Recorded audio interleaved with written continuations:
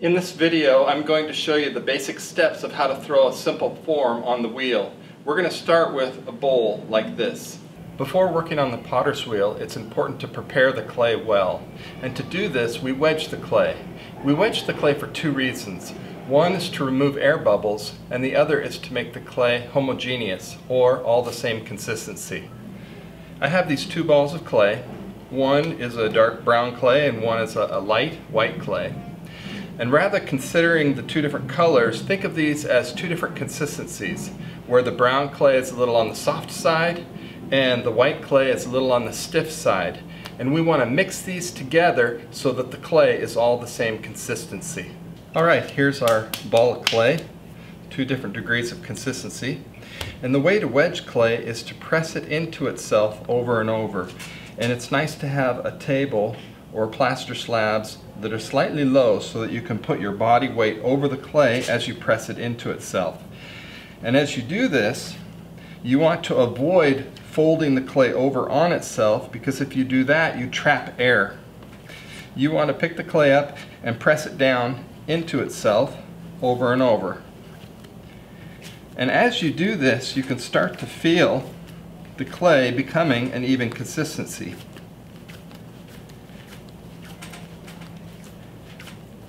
After you've done this for a little while, it might feel like the clay is a nice even consistency. But if we take these two different colors of clay and cut them in half, you can see that there's still a lot of inconsistency in the clay. So what I usually tell students is, once you feel like you have finished wedging the clay, continue wedging it a little bit further.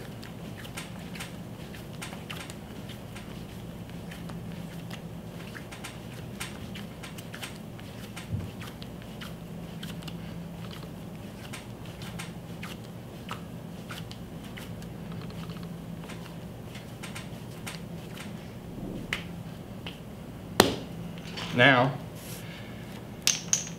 you can see that the clay is nice and even consistency.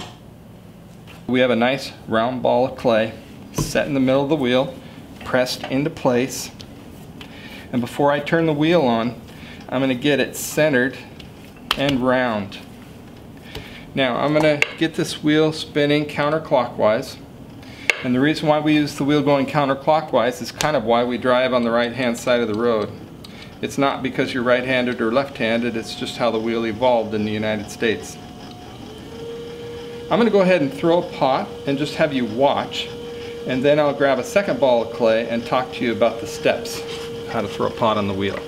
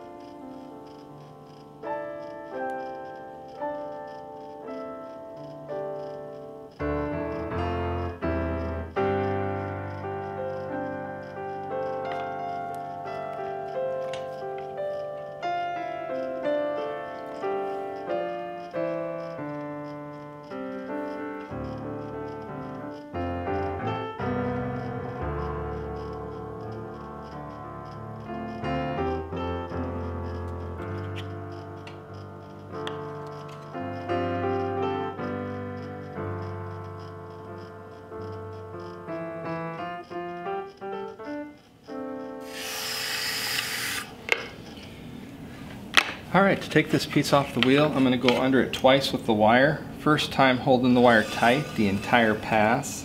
And the second time put water on the wheel head and grab that water with the wire. And as you hit the bowl, hold the wire loose to help corral the water under the bowl. That gives it something to slide around on. Then when you push the bowl off the wheel, you don't want to touch the walls at all. They're way too soft. You push by the very bottom. Slide it off onto your hand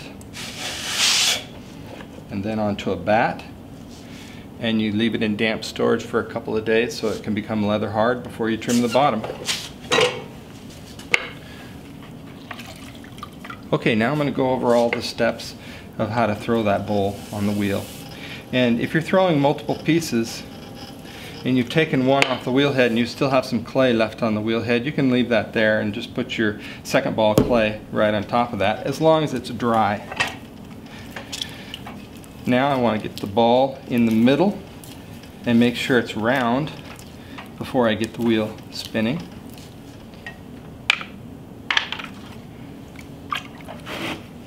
Alright, so I can get it spinning about a medium speed and I can leave my foot on the pedal or take my foot off the pedal it'll run by itself. I'm going to wet my left hand, then wet the clay, put my left elbow against my leg, my right hand on top of my left hand, and just push the clay down to the wheel head to make sure it's stuck. Now because my elbow is down on my leg, my hand won't wobble back and forth this way, but it does swing. So I use my right hand to help stabilize that swing. Now I'm going to lean in on this clay with my left hand, but only using my pinky and the palm. I don't use these four fingers. So I lean into this ball of clay and make a cone with a point to it. And if I keep leaning in on the cone, the cone will rise because the clay has nowhere else to go but up. If I want to reach over with my right hand and use my fingertips as well, I can do that to help me get into, a cone shape but I want to use as little surface area as possible. You don't want to grab the clay like this because it creates too much drag. You want to be touching the clay with as little surface area as possible. Also notice that the thumb on my left hand goes right over center. Don't drop your thumb down like this or you'll cut the top off. Also remember don't use your thumb, use just the palm of your hand and your pinky. And get this up into a cone and once the cone is up, push it over and back down this way. Still into a cone shape, but now it's a low cone. And you want to do this a couple of times to help prepare the clay for throwing. I'm using my leg as the force to push the clay into a cone shape. Make sure your left elbow is against your leg so you can use your leg to lean into the clay. Bring the cone up and push it over and back down. Now we're ready to center the clay. If I try to hold this clay in the middle of the wheel, it's going to take my hands all over the place. There's no way I could hold it steady in the middle of the wheel. So what I'm going to do is push it out of center, hold it steady out of center, and then release pressure slowly. The clay comes back to the middle and is centered. The reason why that works is when I'm holding it out of center, the force is coming at me from only one direction, and I can stabilize that. If I'm holding the clay in the middle of the wheel, the force is coming at me from all different directions, and I can't possibly stabilize it. I'm going to push the clay out of center, and this time I'm going to let go fast just to show you about how far out of center I hold it. So again, to center your clay, just use your left hand. The only thing your right hand is doing is help stabilizing your left. Push the clay out of center, hold it still, let go slow, and it's in the middle. We're going to use that same principle for going down the center. If I try to hold my finger right in the middle as I go down the center, the clay is going to take my finger all over the place. So what I'm going to do is I'm going to apply a little pressure off to one side as I go down the middle the force is only coming at me from one direction, so it's much easier for me to hold my finger stable as I go down the middle. And once I've gone down to about an inch from the bottom, maybe uh, three quarters of an inch from the bottom, now I'm going to pull the wall out to open up the piece. The next step is going to be making pulls, but before I do that, there's a couple of things that I want to do. The first is I want to smooth out the bottom and compress that clay. So I'm going to use this rib right here. I hold the rib in my left hand like this, and I put a finger from my right hand in that dimple, and I push this rib down against the bottom to not only smooth out the bottom, but when I compress the clay like this, it makes it less likely to want to crack in the drying and firing process. And that's really all I do with this rib. The next thing I want to do is I want to push this bulge in. We have a bulge sticking out right here. So the way to do that, I take the sponge in my right hand, I put my wrist against the tray, I support my right hand with my left hand, and I push in on that bulge until I get the cylinder shape that I'm looking for. Now, you'll notice that the rim has gotten thin. I need to keep the rim thick. So to thicken it back up, I'm going to stabilize it with my left hand by pinching it with my left hand, and I'm going to compress it with the sponge in my right hand. My two hands are going to be working together. They're going to be touching each other. So just stabilize and compress so that now I have a nice thick rim, and really the thickness of the wall is even from top to bottom. And now I'm ready to make a pull. So I'm going to wet the wall, then I'm going to lock my thumbs like this, and I'm going to go down to the bottom and I'm going to pinch with my middle fingers. And then I'm going to start coming up and as I come up I'm going to ease off on the pinching. Less and less pressure as I come up. Now your first pull, you don't want to pull very much at all. You just want to kind of even up the, the wall. As you come up, you are keeping your fingers an equal distance apart, but it requires less and less pressure as you come up because you're lifting less and less clay. Now we'll have a second pull. So re-wet the wall. This time maybe I'll touch my thumbs like this, go down to the very bottom and push out from the inside, get underneath that from the outside, and then come up. And as I come up, ease off on the pressure. Less pressure, less pressure, less pressure. And by the time I get to the rim, hardly any pressure at all. It's not a bad idea to compress the rim after each pull. So pinch it and stabilize it with your left hand and push down with the sponge in your right. That helps to move any unevenness around this way. If the rim is bouncing around like this, you can pinch and compress and you can make the rim nice and even by sending that unevenness around. If the clay ever drags, add water. The clay should always be very slippery.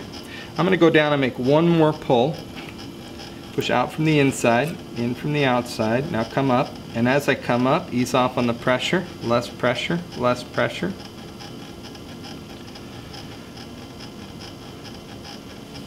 And you want to periodically take the water out of the inside. You don't want water sitting on the inside of your bowl. Once you have brought up the height, you're ready to smooth and shape the piece. And the first thing I want to do is get rid of this clay down here. So I'm going to use this rib to do that. I'm going to hold it in my right hand, put my wrist against the tray, stabilize my right hand with my left hand, and just swing this rib into the clay to get rid of that excess clay around the bottom of the bowl. Now if you have a bowl that's wobbling on you a bit like this, this next step is going to help straighten that up. I want to hold the rib in my hand this way. I'm going to push the rib up against the pot this way, but from the inside I'm going to push the clay out to the rib. So I re-wet the inside wall because I want my fingers to slide. Go down to the very bottom and lightly push the rib into the clay, clay out to the rib, bring the two up together, and when you get to the rim, hold it steady and then pull away real slow. You can also do that from the top down. Start at the top and work your way down. Now, the outside is finished. You don't want to touch it anymore. To rib the inside, we're going to hold the rib in our hand this way, and we're going to point our elbow at the ceiling. Now this hand acts like a pendulum. It's just swinging around here. It has zero stability. So reach over with your left hand to stabilize your right hand. all your stability is coming from your elbow down against your left leg. You can start at the top, work your way out and down, and right across the bottom if you want.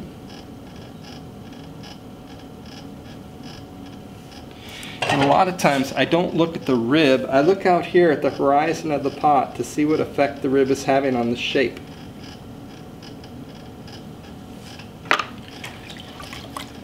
And there's all kinds of things you can do with the rim of your piece to give it a finished look. so on that last bowl, I grabbed the rim and I pulled it out with my left hand, pinching it out. And as I'm doing that, I'm kind of applying a little bit of pressure and helping stabilize with the sponge in my right hand. Now I want this flat edge and the inside wall to come to a nice point. So to do that, I'm going to hold my fingers underneath the rim and press down with the rib, right on that rim. And then I'm going to go down the inside. And I might go back and forth a couple of times until I get that nice sharp edge that I'm looking for.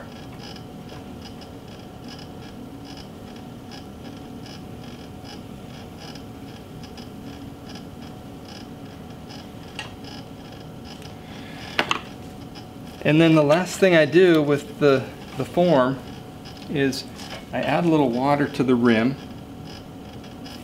and I pinch the rim and kind of compress the rim a little bit not only to make sure it's smooth and centered before I quit but that compression also helps to prevent it from chipping when you actually use the bowl. And then before you take the piece off the wheel it's a good idea to do what's called a little pre-trim. I'm going to take this trimming this um, rib and I'm going to take out a little bit of clay from underneath the bowl. Like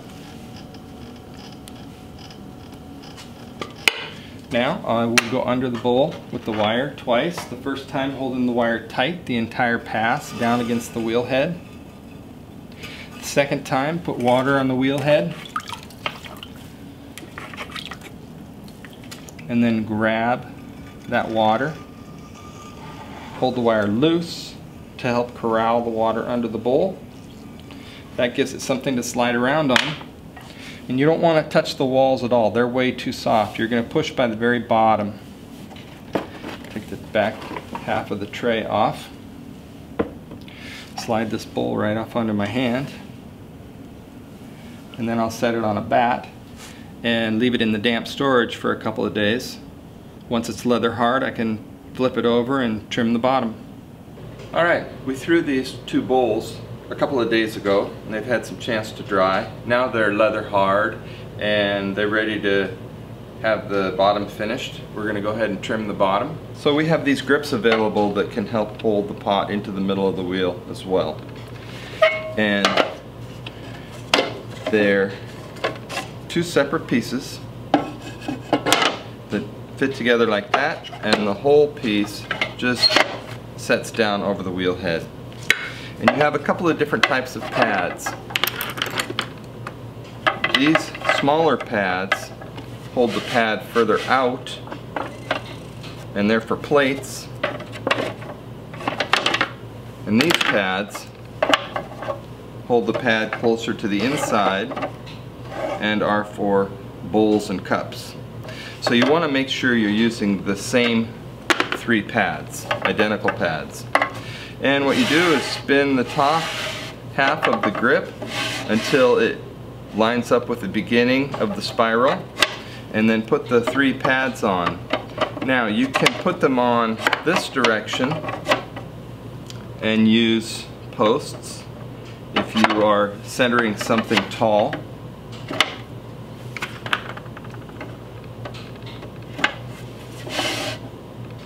But we're doing a bowl so we're going to put the pads on the grip, pad side in.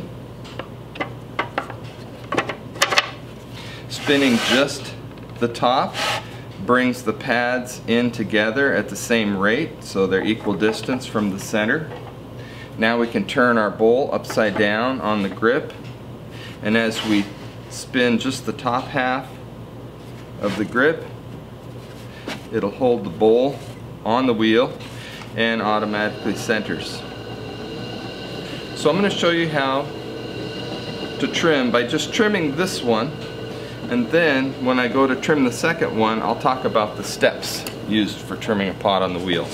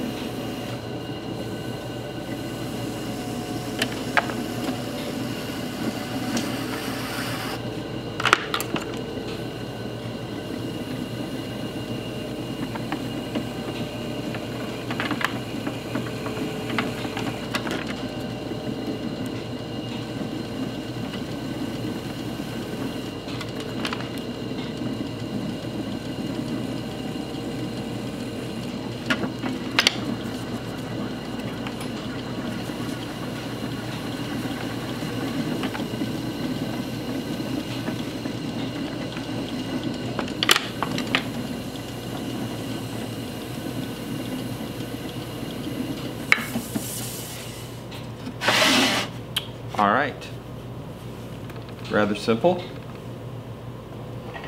So, again, before you set the bowl on the wheel, it's a good idea to get a sense of how thick the bottom is so you know how much room you can trim. I'm to set it in the middle of the grip and slowly turn the top until the pads come in and meet, meet the bowl. Now, I want to spin the wheel relatively quickly and I can take my foot off the pedal to keep the wheel spinning at a constant rate if I find myself changing the speed of the pedal. I use these two trimming tools. I use the large tool for smoothing and shaping and the smaller tool for digging and cutting. I'm going to hold this larger tool in my hand like a hammer but I'm also going to touch it with my left hand so that the tool is being stabilized by both hands. And I keep both elbows down for stability. This pot is going to want to bounce my tool around like this, but I want to hold that tool as steady as possible. I also use the fingers on my left hand to just kind of hold the bowl down, make sure it doesn't want to jump off the wheel. Now I start by rounding up the bottom Usually when you throw a pot on the wheel you have a lot of leftover clay right in that corner. So you want to get rid of that extra clay right down the side. And once you have smoothed that out from the side up to the bottom, you're ready to put in uh, the outside of the foot. So I'm going to just go down right about here. I can use the smaller edge of the large tool or I can use smaller trimming tool. But this is going to be the outside of the foot, so what I want to do is I want to make this round from the outside of the foot all the way down the side of the bowl. And when I do that, you can see that it starts to look like a bowl.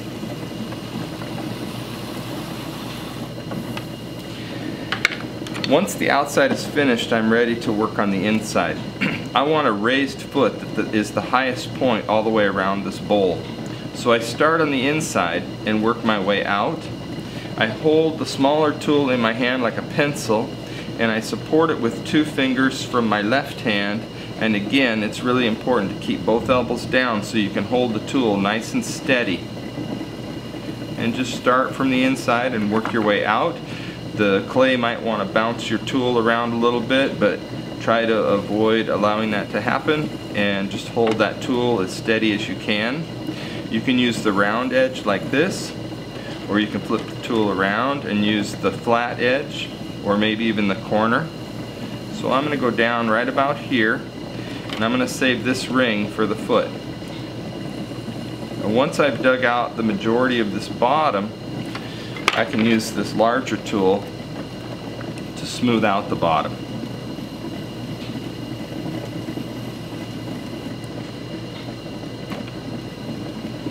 Now, everything's going to get glazed except the foot.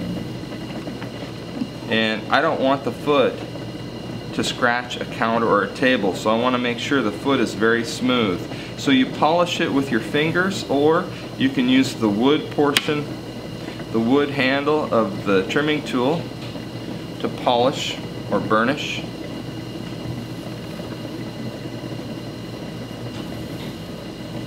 Making sure that's nice and smooth. To remove the bowl from the grip, you spin the top half of the grip in the opposite direction, pulling the pads away from your piece. Sign the bottom of your piece and put it in an area where it can dry slow for a day or two before you're ready to let it sit out and get ready for firing in the kiln. You notice that the foot is not just uh, for aesthetic purposes, but it really serves a functional purpose as well because it doesn't have a flat bottom, when I set this bowl down, it sets down nice and stable. If we were to leave the bottom flat, there's a good chance that it might warp up and the bottom sitting on a table would rock. So that's a finished piece.